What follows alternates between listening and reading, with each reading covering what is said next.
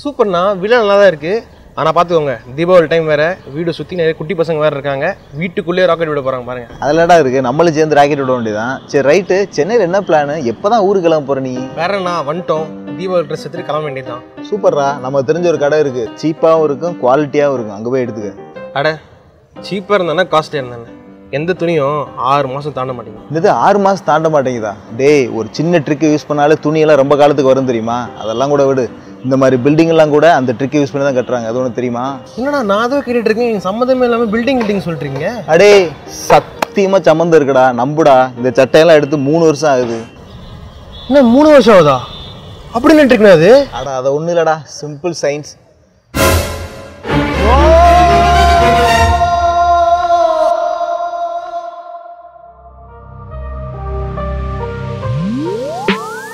தீபாவளி வந்துருச்சு எல்லாருமே புது ட்ரெஸ் எல்லாம் வாங்கியிருப்பீங்க. ஆனால் அடுத்த ஒரு அஞ்சாறு மாதத்துக்கு பார்த்தீங்கன்னா துணி நம்ம துவைக்கிறங்கிற பேரில் அடித்து துவைச்சு புழிஞ்சிருப்போம். இதனால வந்து சட்டையோட சைஸும் பாதிக்கப்படும் அதோட கலரும் பாதிக்கப்படும். இதனால வந்து கம்ப்ளீட்டாக அந்த சட்டையை வந்து பாலாகிறதுக்கான வாய்ப்பு ரொம்ப ரொம்ப ஜாஸ்தி. ஒரு துணியை துவைச்சு புளியிறப்ப என்ன நடக்குது அப்படிங்கிறத தெரிஞ்சுக்கிறதுக்காக ஒரு துவைச்ச துணியை வந்து ஹாரிசான்டல் ஆக்சஸில் எடுத்துக்கலாம்.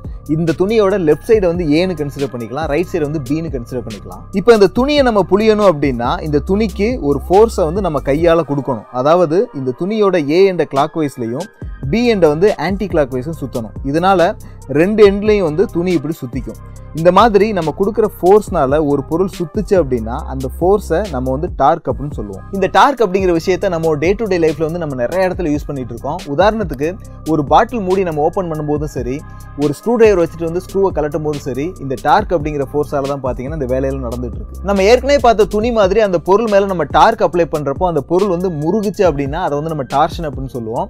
ஒரு நல்லா முறுக்குன துணியை பார்த்தீங்க அப்படின்னா சாதாரண துணியோட கம்பேர் பண்ணுறப்போ ரொம்ப ஸ்ட்ராங்காக இருக்கிறத நீங்களே கவனிக்கலாம். இந்த துணி ஸ்ட்ராங்காக இருக்கிறதுக்கு காரணம் என்னன்னு பார்த்தீங்க அப்படின்னா நம்ம புளியறதுனால உருவாகிற அழுத்தம் அதாவது ஸ்ட்ரெஸ்னால தான் இந்த ஸ்ட்ரெஸ்ஸு ஒரு டார்ஷனில் உருவாகிறதுனால இதை வந்து நம்ம டார்ஷனல் ஸ்ட்ரெஸ் அப்படின்னு சொல்லுவோம். சரி அதெல்லாம் இருக்கட்டும் இந்த துணிக்கும் வீடு கட்டுறதுக்கு என்னையா சம்மந்தம்னு உங்களுக்கு ஒரு கேள்வி வரலாம். அது என்னங்கிறது இப்போ பார்த்தலாம் டிவிலலாம் நீங்கள் வந்து நிறைய கம்பி விளம்பரம் பார்த்துருப்பீங்க இப்போ ரீசெண்டாக வர ஆட்லலாம் பார்த்தீங்கன்னா டிஎம்டி கம்பிகள் அப்படிங்கிற ஆடை தான் வந்து பயங்கரமாக போட்டுட்டு இருக்காங்க இதுவே எட்டு பத்து வருஷத்துக்கு முன்னாடி பார்த்தீங்க அப்படின்னா முறுக்கு கம்பிகள் அப்படிங்கிற ஆடு தான் நிறைய வந்துட்டு இருக்கும் ஓகே இப்போ இந்த முறுக்கு கம்பிகள்லாம் என்னங்கிறத பார்த்துடலாம் ஒரு துணியை நம்ம முறுக்கிற மாதிரி ஒரு கம்பி சூடாக இருக்கிறப்போ அது ஒரு மிஷினில் வச்சு முறுக்குவாங்க. இப்படி முறுக்கிறப்போ நம்ம துணியை முறுக்கிறப்ப எப்படி துணி ஸ்ட்ராங்காச்சோ அதே மாதிரி நம்ம கம்பியை முறுக்கிறப்பையும் இந்த கம்பி வந்து ஸ்ட்ராங் ஆகிடும் இந்த காரணத்தினால தான் பார்த்தீங்கன்னா கயரெல்லாம் பண்ணுறப்போ முறுக்கி முறுக்கி தயாரிப்பாங்க. ஸோ தட் இந்த கயிறுகள்லாம் வந்து ஸ்ட்ராங்காக இருக்கும். ஆனால் இந்த முறுக்கு கம்பியில் ஒரு மிகப்பெரிய டிஸ்அட்வான்டேஜ் இருக்குது அது என்னென்னா நம்ம துணியை முறுக்கிறப்போ அந்த துணியில் உள்ள டார்ஷனல் ஸ்ட்ரெஸ்னால எப்படி துணி பாதிக்கப்படுதோ அதே மாதிரி இந்த முறுக்கு கம்பியில் இருக்கிற டார்ஷனல் ஸ்ட்ரெஸ்னால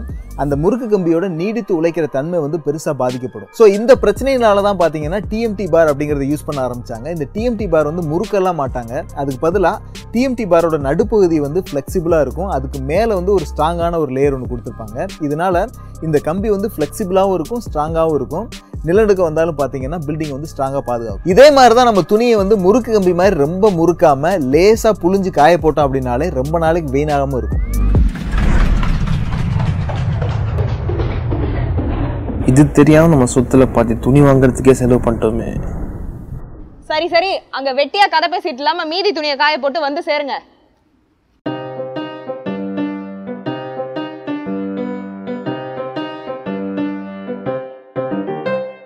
முதல்ல போய் பேங்க்ல ஒரு லோன் வாங்கியாச்சும் வாஷிங் மிஷின் வாங்கிடணும் டேய் இன்னும் ரெக்கார்ட் பண்ணிருக்கீங்க போஸ்ட் பண்ணுங்கடா டேய். நாங்கள் வீக்கெண்ட் கிளாஸஸ் கண்டக்ட் பண்ணுறப்போ நிறைய பேரண்ட்ஸ் வந்து எங்கள்கிட்ட வச்ச ரெக்வஸ்ட் என்னென்னு பார்த்தீங்க அப்படின்னா பசங்க வந்து மேத்தமேட்டிக்ஸ் கற்றுக்கிறதுக்கு வந்து ரொம்ப ரொம்ப கஷ்டப்பட்டுட்டு இருக்காங்க. ஸோ மேத்தமேட்டிக்ஸை வந்து சிம்பிள் ஆக்டிவிட்டிஸ் வழியாக சொல்லிக் கொடுக்க முடியுமா அப்படின்னு கேட்டிருந்தாங்க. அதனால் சென்னையிலே முதல் முறையாக வந்து மேத்தமேட்டிக்ஸை ஆக்டிவிட்டி பேஸ்டாக சொல்லிக் கொடுக்க போகிறோம் இதில் வந்து சிம்பிளாக நம்பர்ஸில் இருந்து காம்ப்ளெக்ஸான அல்ஜிப்ரா ட்ரிக்னாமெட்ரி வரை வந்து பசங்க ஆக்டிவிட்டி வழியாக வந்து செஞ்சு பார்த்து கற்றுக்க போகிறாங்க இந்த ஒர்க் ஷாப்பில் வந்து செவன் டு ஃபிஃப்டீன் வரை ஏஜ் குரூப்பில் பசங்க கலந்துக்கலாம். ஒவ்வொரு ஏஜ் குரூப்புக்கு தகுந்த மாதிரி நாங்கள் சிலபஸ் டிஃபைன் பண்ணி வச்சுருக்கோம். சென்னையில் தாம்பரம் மடிப்பாக்கம் அண்ட் முகப்பேரில் வந்து நவம்பர் 11th ல இருந்து டிசம்பர் செகண்ட் வரை இந்த ஒர்க் ஷாப் வந்து நடக்க இருக்கு. இதே டியூரேஷனில் வந்து மதுரை அண்ட் கோயம்புத்தூர்ல வந்து மெக்கானிக்கல் ஒர்க் ஷாப் நடக்க இருக்குது இந்த ஒர்க் ஷாப்லாம் ரெஜிஸ்டர் பண்ணணும் நீங்கள் நினச்சிங்க அப்படின்னா www.lmes.in டாட் எல்லம்எஸ் டாட் இன் அப்படிங்கிற வெப்சைட் போய் ரெஜிஸ்டர் பண்ணுங்கள்